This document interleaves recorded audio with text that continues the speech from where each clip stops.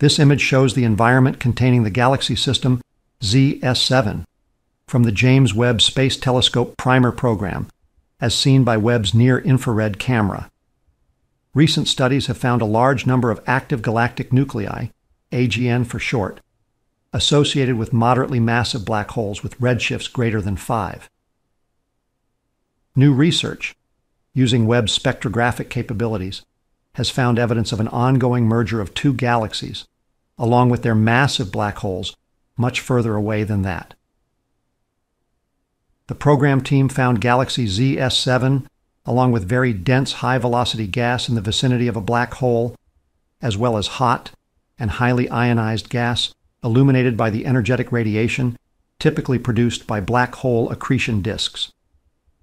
The galaxy and its black holes have a redshift of 7.15.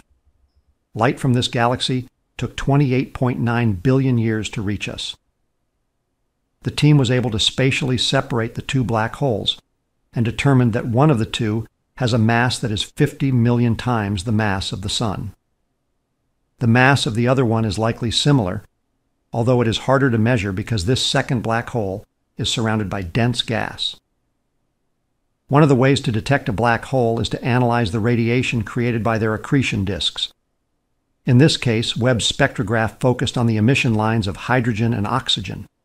In this image, ionized hydrogen emission is orange, and the doubly ionized oxygen emission is dark red.